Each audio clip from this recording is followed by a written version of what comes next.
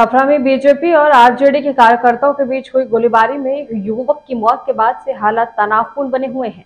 मौके पर मौजूद पुलिस से आक्रोशितों की झड़प हो गई है, जहाँ लोगों ने सड़क पर शव के साथ अगजनी की और कई गाड़ियों को निशाना बनाया है। छपरा चुनाव में रंजिश के बाद छपरा में एक युवक की गोली मारकर हत्या कर दी गई है, जबकि दो युवक घायल हैं। दोनों घायलों को एक को पीएमसीएच घटना रेफर कर दिया गया है। इस घटना के बाद आक्रोशित लोगों ने जमकर हंगामा किया और तोड़फोड़ और अगजनी की घटना को अंजाम दिया है। मामले में पुलिस ने आरोपी भाजपा नेता को अरेस्ट कर लिया है। घटना के बाद महाराजगंज के सांसद जनार्दन सिंह सिग्रीवाल, गरजे और आक्रोशितों और पुलिस के बीच झड़प हुई। मौके पर मौजूद पुलिस को भी लोगों ने गुस्से का सामना करना पड़ा। भिकारी ठाकुर चौक के आसपास काफ़ी तोड़फोड़ और हंगामा भी किया गया। पूरा इलाका पुलिस में तब्दील कर दिया इस घटना के बाद मृतक के शव के साथ स्थानीय लोग भिकारी ठाकुर चौक पहुँचे और वहाँ पर जमकर हंगामा किया। इस दौरान पुलिस वालों से भी स्थानीय लोगों की झड़प हुई। सारण एसपी गौरव मंगला ने कहा कि आरजेडी और बीजेपी के कार्यकर्ताओं के बीच कैंडिडेट की उपस्थिति में विवाद हुआ था। उसी की प्रतिक्रिया में आज कुछ व्यक्तियों के द्वारा लोगों को गोली मारी गई है। तीन लोगों को गोली लगी है, जिसमें एक की मौत हो गई है। एक घायल व्यक्ति को पटना रेफर किया गया है। एक अन्य की स्थिति खतरे से बाहर है। पुलिस दोषियों की पहचान कर उनको गिरफ़्तार करेगी। जो लोग भीड़ और भड़काने की कोशिश कर रहे हैं, उनके खिलाफ कार्रवाई की जाएगी। शांति व्यवस्था बनाए रखने के लिए इंटरनेट को बैन किया जाएगा। आरजेडी और बीजेपी के कार्यकर्ताओं के बीच कैंडिडेट की उपस्थिति में विवाद घटना हुई है सर। एक कार्यकर्ता को गोली मारी गई है। क्या कहेंगे इस पर किस तरह से ये ये लोग कर रहे हैं? तो निंदनीय घटना है इस प्रकार का घटना होना नहीं चाहिए। ये समाज के लिए उचित नहीं है। और पुलिस प्रशासन तत्पर है। हम लोगों को पता है कि न्याय होगा सर क्या लग रहा है कि पुलिस की इसमें विफलता है कहीं ना कहीं इस घटना को? अभी अभी तुरंत इस विषय पर कुछ बोल देना हम समझते हैं कि उचित प्रतिक्रिया। इस घटना को चुनावी दर्जे से दूर से देखा जा रहा है हाँ निश्चित रूप से कल वहाँ पर जो है तो उसके बाद ये घटना घटा है तो कहीं ना कहीं चुनाव को लेकर देखा जा रहा है क्लियर है इसमें तो कोई शंका है नहीं। क्या बीजेपी के कार्यकर्ता से तो साफ़ और स्पष्ट है कि कल से लेकर आज तक जो वीडियो वायरल हो रहा है उसको भी आप करीब से देखे होंगे। राजनीति को लेकर ही हो रही है या भाजपा के बीच में जहाँ हुआ होली को लेकर अच्छा। उसी के बीच में हम लोग तो उधर थे तो हल्ला हुआ कि यहाँ लाठी डंडा चला। जब हम लोग आए तो उधर गोली का आवाज़ अचानक हुआ तो हम लोग भी भाग गए। फिर पता चला कि एक लड़का को गोली लग गया मर गया है। दो को घायल और सब जो आने वाला भी यात्री है उनका भी गाड़ी हो तो हम लोग गोली तो हम लोग भी भाग गए। यहाँ पे पार्टी के बीच वोटिंग लेके झगड़ा हुआ अच्छा वोटिंग को लेकर दो पार्टी है कौन कौन पार्टी है वो? भाजपा और आरजेडी।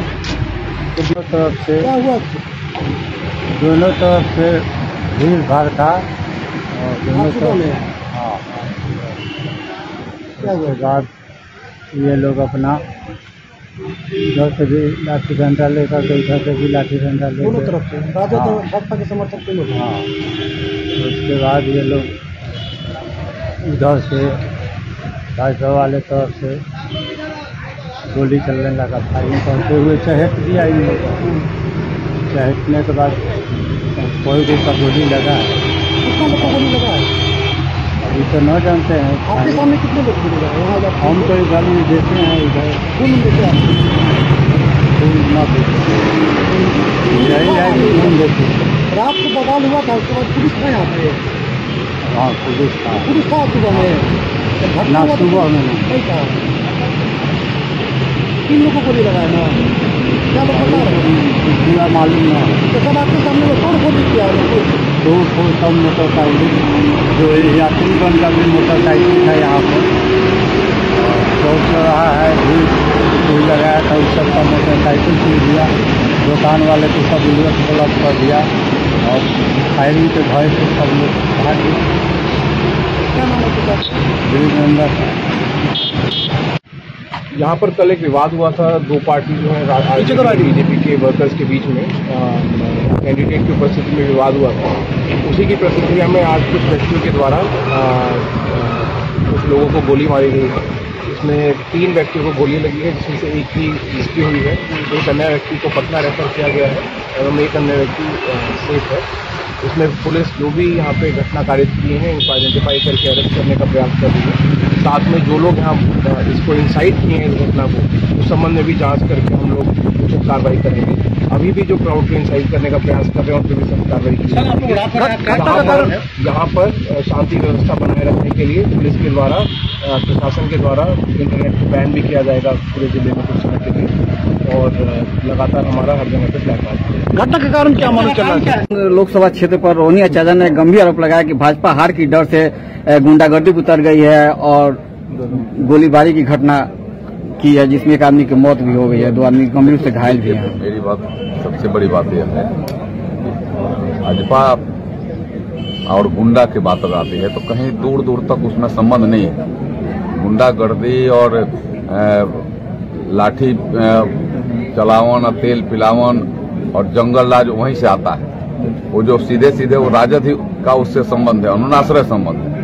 भाजपा का सुशासन से संबंध है। भाजपा के अंदर एक चरित्र और संस्कृति के साथ राजनीति करने का, उनके अंदर वह ताकत है और वह उनका सीधे रास्ता भी है, मार्गदर्शक भी है। इसलिए हमें लगता है कि उनका आरोप बेबुनियाद है। और मैं अगर उसको उल्टा करूँ तो वह हार की वजह से ये सारी बातें वह कर रही हैं। क्योंकि वहाँ का जो चुनाव हो गया है कल ही चुनाव हुआ है जो छन करके आ रहा है वहाँ भी भाजपा भारी मोहब्बत से वहाँ भी जीतेगी। अच्छा माहौल देखकर लग रहा है चार सौ पार हो जाएगा? नहीं, माहौल तो